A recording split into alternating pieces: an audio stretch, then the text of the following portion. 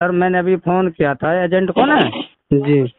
Sir गाड़ी दी पूरी तरह उसने बहन चोद मादर चोद सब तरह क्या काट लोगे नो कर लोगे मैंने कि तेरे खिलाफ केस करेंगे हम एजेंट का नाम एजेंट हो।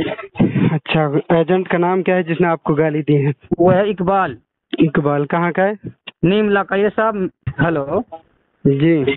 जी सलाम वालेकुम वालेकुम सलाम। कौन बोल रहे हैं? जी मैं आज़ाद बोल रहा हूँ बड़ा से साहब।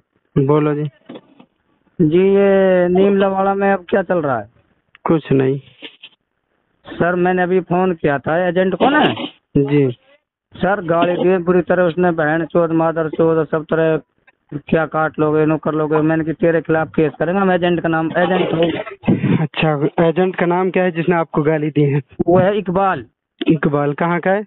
नीमला का ये साहब फकीर जात से फकीर है मैं फकीर हूँ। अच्छा वो भी फकीर है जो एजेंट है। हाँ जी। अच्छा। और साहब गा- उसने गाली क्यों दी थी आपको उसने? साहब मैंने नु कही मेरे को ये बता इकबाल अब क्या होगा भाई? तो कुछ ना हुआ अपने अपने इनको आप आप करो भैया अच्छा। मैंने कहा यार ऐसे कैसे? हमने पैसा तो लुधियाना भाई हम तो तू जाने।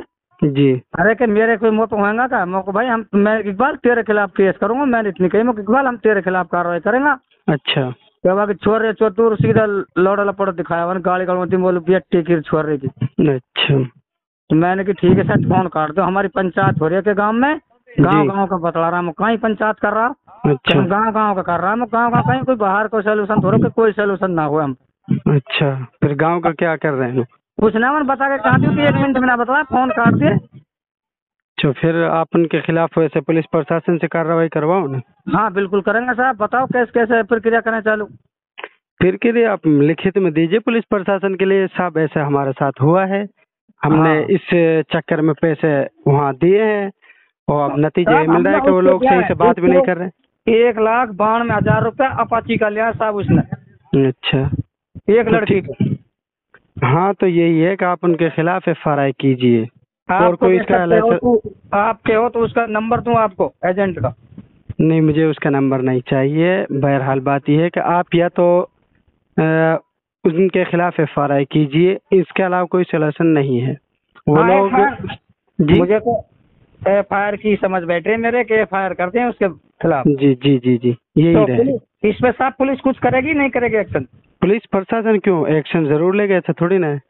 हाँ तो इन एजेंटों को तो ढूंढेगी पुलिस संगाड़ेगी जी। तो जिनके बीच में का आपने पैसा भरा है उन सबका नाम लिखित में दीजिए। साहब यही है हमारे बीच में का तो। बस तो कोई प्रॉब्लम नहीं आप तो उनके नाम से लिखित दीजिए।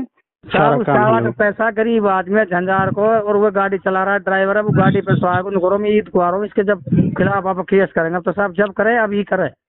जब आपका दिल करे बगैर केस के आपके एक रुपया भी नहीं मिल सकता वहाँ से। हाँ ना अर्जी वर्जी सीन न दे रहा है आज मैं पुलिस को देख रहा हूँ वीडियो में आपके में तो कुल मिलाकर वो क्या प्रोसेस चल रहा है? वो यही चल रहा है कि लोगों ने अपनी वो लिखित में आईजी को लेटर पैड दिए हैं कि हम्म। हमारी ये समस्या है हमारा पैसा वहाँ नहीं मिल रहा है। तो हम्म। इसे इस हिसाब से आप दे सकते हैं वहाँ। तो आई जी अर्जी ने ले लेंगे फिर अपने पास सबूत और नहीं रहेगा उनको दें या ना दें? वो उसकी फ़ोटो कॉपी दो ना आप असल अर्जी को क्यों दे रहे हो? अच्छा अच्छा अच्छा ये सही बात।